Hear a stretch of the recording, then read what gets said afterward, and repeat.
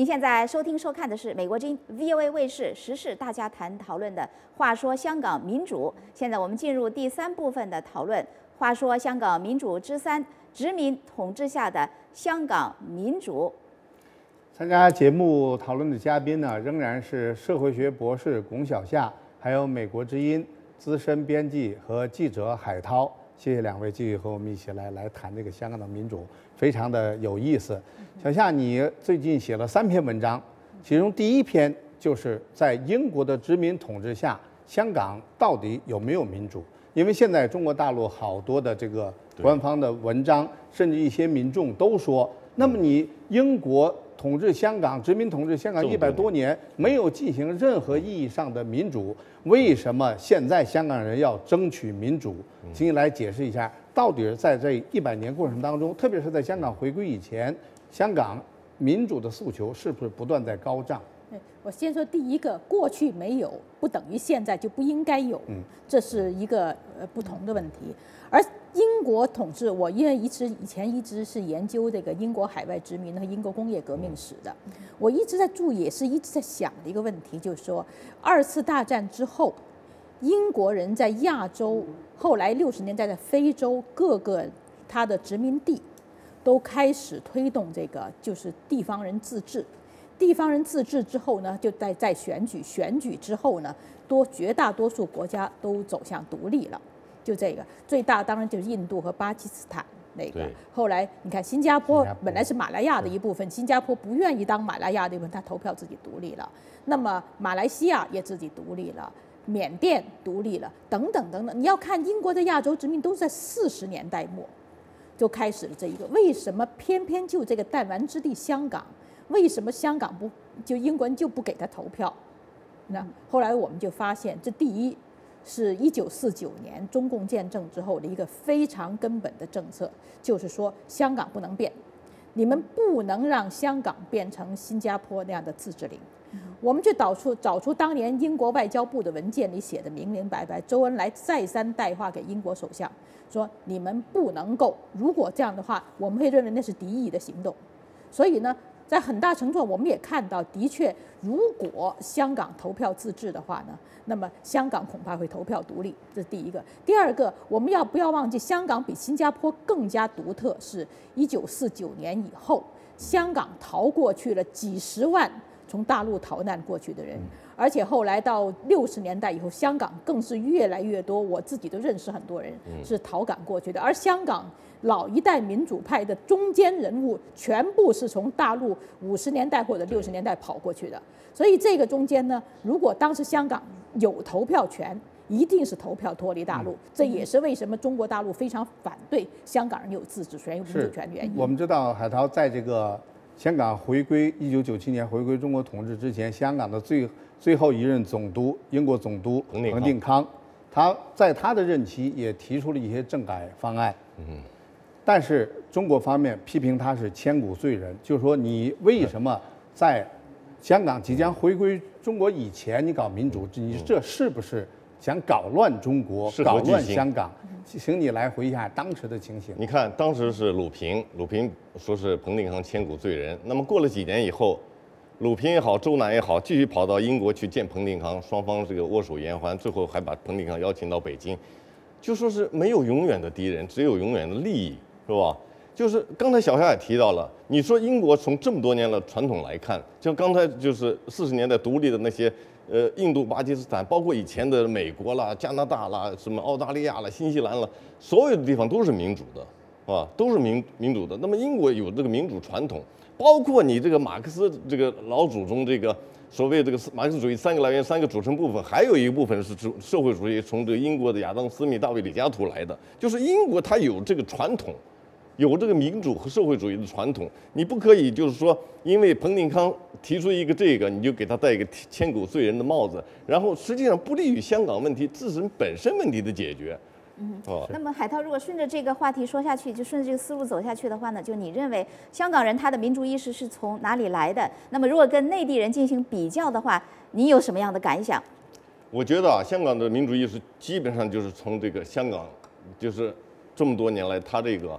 他整个这这套资本主义制度给他这个资本主义环境给他产生的出来的这么一种这个，特别是香港有那么好的法治，那么好的这个人民的素质，是吧？王岐山当年还叹服说香港这个交通真好，不是我们北他当北京市长的时候，他说不仅不是我们北京市长应该和人家讨，北京市的官员应该和人家讨论，应该我们应该直接向人家学习，这是王岐山的原话，就是他有那么好的这个这个这个条件。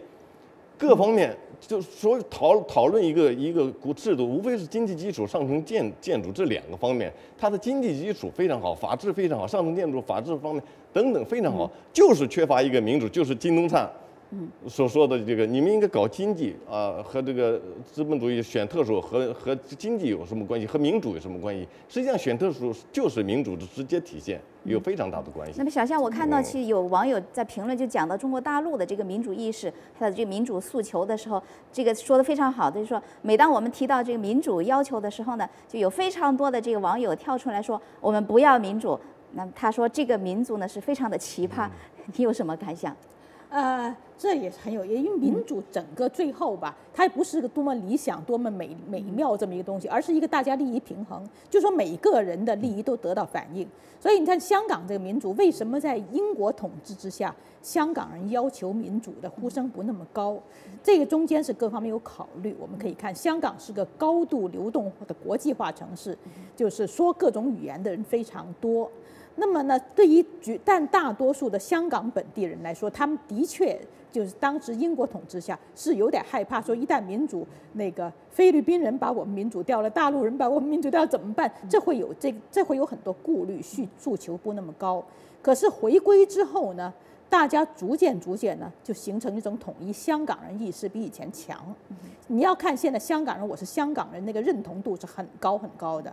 那么哪怕是很多大陆移过去的人、外地来的移民，他们都有个共同意识，说我们这个制度是要保下来，我们这个自由是要保下来。所以你看香港这次这次这个这个学运造闹得这么大，这跟香港人本地人的认意识认同有关系。另外还有就是就要我们要知道，现在呃现在有游行主力的香港学生，他们都不是功能界别里头投票的。我插一句啊，就是现在香港的所有的这个，不管是政政政客当中，就政治人物当中，不管你是亲北京或亲西方的，现在没有一个人出来承认我就是共产党员。嗯嗯，好，接下来我们接听一些听众观众朋友打来的电话，节目时间剩下的不多了。请各位简短发言。湖北武汉的张先生，张先生您好。你好。哎，你好。啊，我赞我支持香港人的战争行为。香港人的为了保捍卫捍卫啊民主，呃，保卫香港，希望他们能够为内地啊，呃，更多不能说话的民众做出更多的贡献。谢谢。好，谢谢。湖北的张先生，另外一位是湖北江宁的张先生。张先生，您好。你好。这个呢，呃，我认为啊，习近平他就是想啊否定那邓小平时期那个一国两制，他要把香港装正来。其实我们大陆老百姓对香港的占中民主主义啊，就是都是不理解的。但是我认为啊，如果说香港被中共的中国共产党专制之后，现在的公民生活慢慢是自由、幸福和快乐，连新闻媒体都要说中央。那个中央那个新闻局的管理，甚至新闻联播，你们要都要同步播放。所以说，我认为香港的民主要坚持到底。哎，谢谢。好的，谢谢湖北的江宁的张先生。最后，我们再请河南的董先生参加我们的讨论。湖南的河南的董先生，您好。哎，你好啊，这个香港这个问题啊，怎么说呢？很复杂。就是我总总有两天，我都可以这样说吧：香港是中国人的。香港人这是其中之一。不管怎么说，香港怎么民主啊？以后这个大陆也很，将来以后也肯定也会有民主那一天，是吧？但是不要着急嘛，慢慢来。我认为不要着急。是。中国需要安静，还是需要这个不要动乱。好的，谢谢，谢谢河南董先生。小夏，河南董先生谈这个问题很有代表性。香港的民主是不是要更以更这个？平稳、更加稳定的方式来推进。另外，海涛也请你简短的，你们二位谈一谈。很多人认为，现在香港这个以学生为主的这次占中行动是属于一种过激的行为。那么，应该他们认为应该通通过这个法律的渠道比较平和的来提出这么一种诉求。谈谈你们二位的看法，小夏先来。我个人认为，在争取民主运动中最激烈的行为就是战争，没有战争的其他行动呢？都不算过激行为，是不是？那么你说民主运动，当然就是说争取民主的过程有非常详细的法律讨论，有立宪等等，但是也有大规模的群众参与。所以香港这大规模群众参与，除了每年抗议六四这个活动之外，其实或者七一大游行都是。并不那么多，而且很有规矩。我们这次看的香港战中，除了一些小流氓去捣个乱之外呢，基本上是非常规矩的，而且学生在进退有序。我们也应就是说这这种这种就是说每一个人表示有自己发言权，拿着用这个机会来，我觉得这是这是很健康的发展，而不是说很过激。说过激的大概还没有战没有见过战争啊。我想说到这个这次战争呢，我想说一个词儿叫死磕。嗯，大陆的网民都非常知道，对吧？就是说，以前呢，香港就是所谓这些反对派当中，就是长毛和社民联，还有什么四五运动几个人在那儿经常采取这个激烈的行动，所谓死磕派。那么为什么这次九月二十九号、二十八号有这么多学生也突然变成死磕派呢？作为这个中国也好，中央政府也好，中国民众也好，在批评香港学生就是。动乱非法的同时，也应该回头想一想，为什么把香港这些所谓的极端反对派从几个死磕派要变变成这么多死磕派呢？这里头有什么根深蒂固的深深层次的原因？希望这个这个大陆的民众和中央政府也好好想一想。嗯，那么小夏，我还想问你，就是讲到您刚才讲的这个经济和香港这民主诉求之间的关系，那么我想问你，就是说是不是呃经济高度发展之后，它的必然结果就是民主，也就是说民主呢肯定最终会呃产生会实现，还是说民主是必须通过人们的这个呃强烈的愿望的这表达才能够达到目的呢？我觉得经济发展程度跟民主有一些时间上的重合，但是没有必然的联系。因为民主，我们很早就就知道，希腊时候就有民主，后来一直有民主，这是西方民主已经几百年了。我想美国那个建国的时候的经济绝不如中国今天发达。那么这民主，民主跟什么有很重要关系？民主跟民智很有关系。也就是说，你不论穷还是富，你每一个人是不是要求你个人的尊严，要求得到承认，要求是成为社会的一份子，要求你在这个整个决策中有你的声音。去决定你的命运，所以我想就是说，民主是这这实现每一个个人尊严的这一和个人自由的一个程序。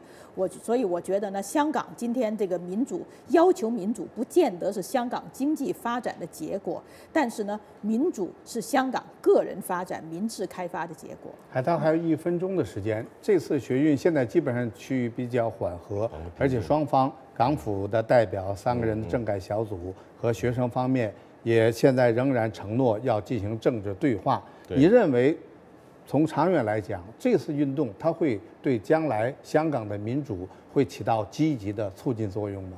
呃，起码在将来的香港这个政治发展史上，它会留下比较浓重的一笔。嗯嗯，小夏，你的看法？